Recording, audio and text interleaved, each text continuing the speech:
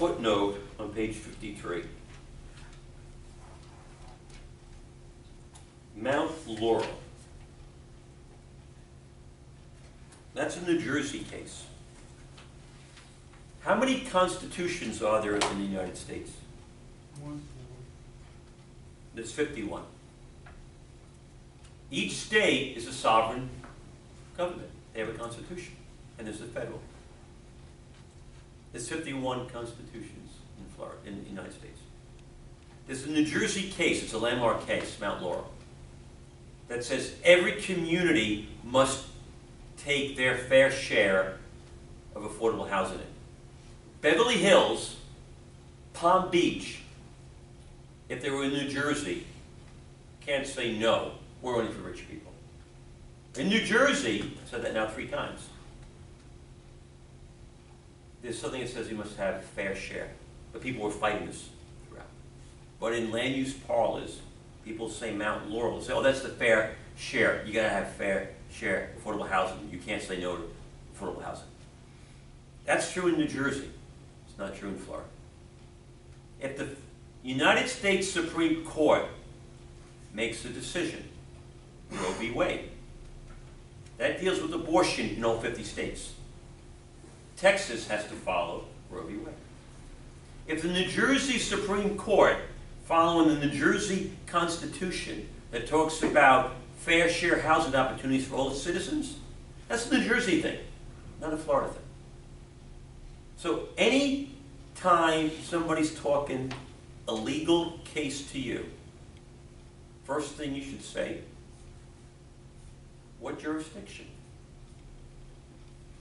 In Florida, 67 counties, believe me, there are. They all have their own circuit court. You go to circuit court, you lose. Then there's five different appellate divisions that the 67 circuit courts go into. And then the five appellate decisions, they don't like that, you go to one Supreme Court. So 67, basically, let's assume, county. Then you have five and one. Miami-Dade is in the third district, Broward's in the fourth, together with West Palm. There could be a different opinion in the third from the fourth. So what George is going to have to do, your former boss Perez, to go left or right depends upon is he in the third district or the fourth district? Because you're going to have in each. And eventually, when there's a difference of opinion between the circuits or districts, it eventually works its way up to the Supreme Court, and then they decide it for the whole state. Okay? So don't let someone say to you, well, the law is this. If you hire a Miami lawyer, they might be very quick to give you the quote of what the law is in Miami-Dade County in that circuit court, in that court of. But if your property is in Fort Lauderdale, oh yeah, that's right, it's different. So it's their job to know that, but you just need to know, unless it's coming from Congress or the United States Supreme Court, it's not the law of the land. It's the law of a portion of the land. And that's very, very critical. So when someone says it's against the law, your first reaction is, well, what law? Prove it to me.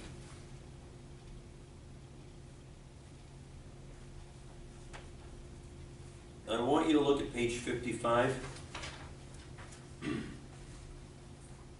The last sentence on 55, do you see the word standing? It's a legal term, standing. If the government turns your project down, you obviously have standing to sue, because it's your project.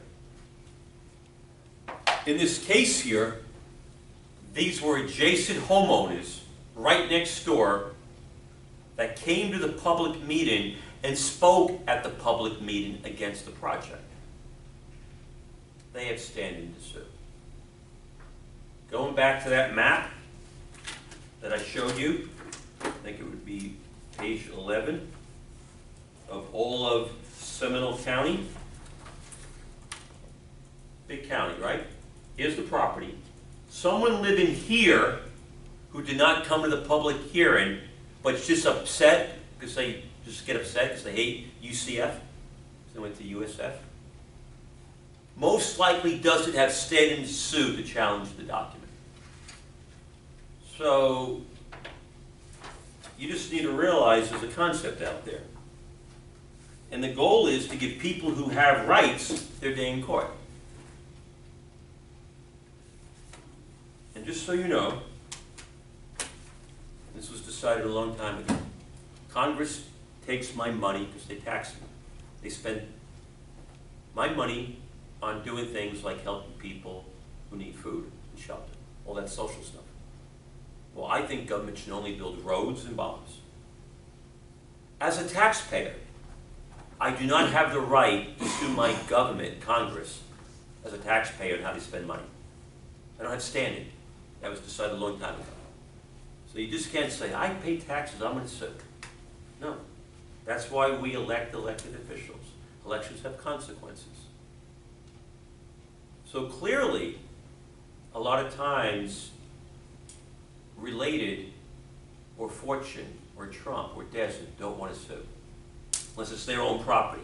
But they don't like the fact that Miami-Dade County wanted to push down affordable housing ordinance. So they go to the Latin Builders Association, a trade association, who has members. You let the Latin Builders Association, the most powerful force in Miami-Dade County, bring the lawsuit. This way it doesn't get specifically put back against the different developers who have to still do business there. So trade associations that represent real estate people can probably sue. But that's a legal term of who has the right to go to court. And I want to make sure you're exposed to the concept. And you go to the top of page 57, those first three lines. These parties traditionally include the owner or contract purchaser, neighbors, and government agencies. Those are the people who are part of this litigation for the Crillon PUD. We're almost done. We're not going to go to the other book. We're rounding third base. Page 57 at the bottom. The most important word, second to last line. Compromise. Do you need 50 stories? If you don't, then compromise to get the deal done.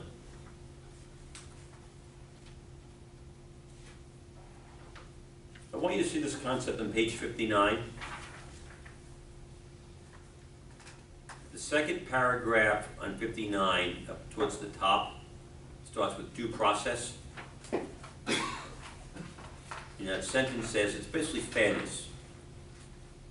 But go down about five lines, it says, due process in the land use contact involves notice, opportunity to be heard, a decision made on knowledge of standards, and opportunity to appeal.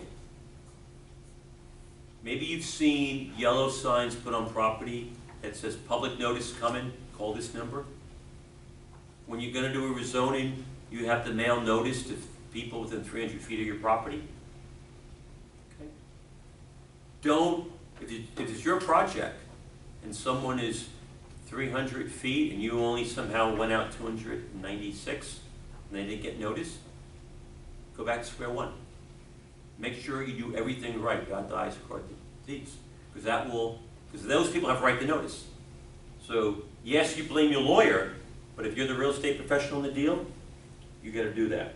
Page 59, second to last paragraph. I said this before. Finally, it is the lawyer's responsibility to make sure a record is prepared. When you're going into that public hearing to get your land use entitlements, you want to make sure everything you need down the road is in there. It's kind of like this. It might rain.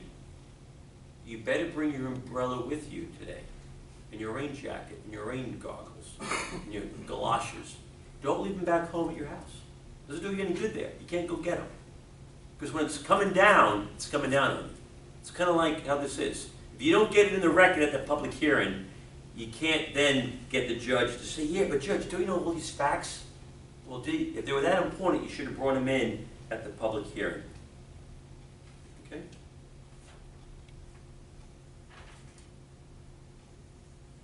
And then go to page sixty-three, second paragraph.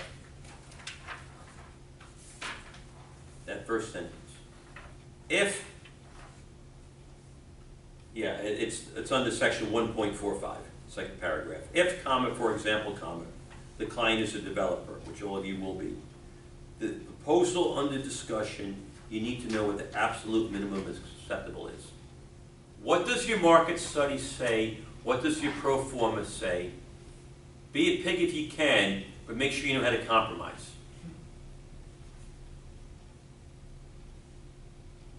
Go to page sixty-four at the bottom. Sixty-four at the bottom, that last paragraph. In land use matters, it is essential that the client understand the unpredictability of the review and approval process. Every lawyer will say the following. I won cases I should not have won, but I lost cases I should not have lost. How many of you, when you woke up on November 8th that morning, thought Hillary was going to win? It's unpredictable. Judges put their pants or dress on just like anyone else. They have good days, bad days.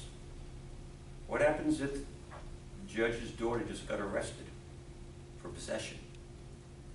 Or the wife's cheated, or whatever. It's human. Now that person's in court. They're gonna decide what's reasonable, what's fairly debatable, what's compatible. Do you wanna take that chance? Control your own destiny.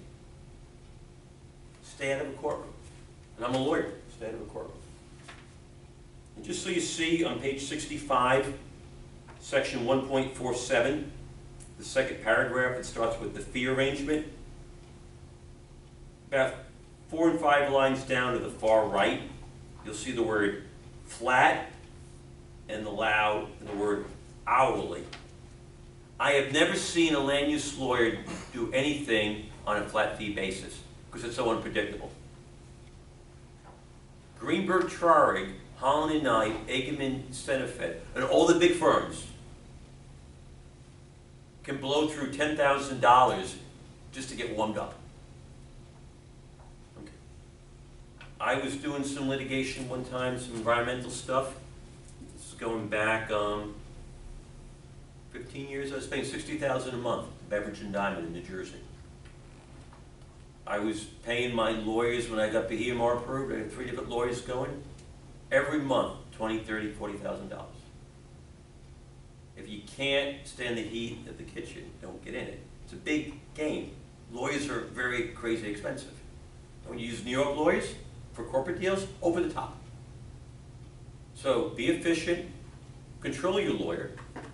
Don't be a lawyer, but this course will hopefully help you work with that. But more important, stand up court, get a deal done, build something. Okay, we're gonna finish up in five minutes.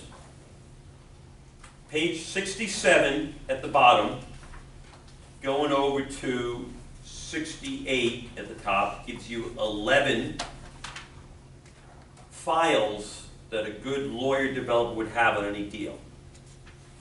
That's the overview of those eleven items.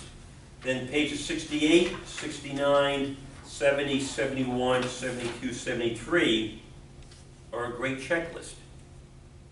If you ever want to figure out how well you're doing in your studies here at Nova Southeast University, you should look at this checklist and say, oh, I know what that is. I can do that. I got that. As a professional, keep good checklists. Don't do anything by memory especially with multiple deals going. But go to page 70. Page 70, Roman numeral 6, land use regulations. From A to N. You're supposed to do for me a final type project where you do a land use analysis of a property. Okay? this is a pretty good checklist. So what I want to do, You said from A to N? N, see how it goes to the next page? Gotcha. Because the next Roman section seven is public infrastructure. But most of what I'm talking about this class is land use regulations. Is that the name of the class? Land use regulations? So what I want to do next week, and I want you to remind me of this, is when we get together, we're going to start next week going through A through N. So read through it. I'll say, A, any questions? No, and I'll keep going down. And then we might get to J5, linkage. Does anybody know what linkage is? Well, not yet, but you will. So I need you to at least read these terms, okay? So that you can then figure them out. Of course, this is the summary of the minimum of what I think you need to know to be effective. So this is what we'll go through next week, okay? Next week, we'll definitely speak about the staff report. Because it's the same thing we're gonna do the following week for the litigation and the settlement. So you don't need to read every word of the traffic study, but you need to know there was one in there. But read at least the first thirteen pages. As far as the textbook, in theory, we should have done one through five today, but we didn't. And then next week we're supposed to do six through seven. The textbook, I think, is easier to read than if I had to read this. But I wanted to go through this to give you an overview, because the way I believe teaching is most effective, the more times you touch something, it becomes relearning something, then it becomes part of your DNA. We will go through the textbook. And again, my goal is not for you to remember names of cases, but to understand concepts. So we'll pick up on this. Then, once we get past the halfway point, we can maybe not stay the full four hours. Fred, I'm gonna let him go about eight minutes early, if that's okay, Fred. Okay. Drive home safe.